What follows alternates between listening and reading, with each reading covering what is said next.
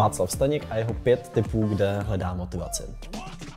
Za mne ta motivace, proč podnikat, byla bez pochyby v tom, že jsem chtěl vždycky tvořit, dělat si věci po svém, pak nějaká rodinná situace a to, aby se kolem mě měli kamarádi a mý rodiče a tak celkově pak moje rodina dobře.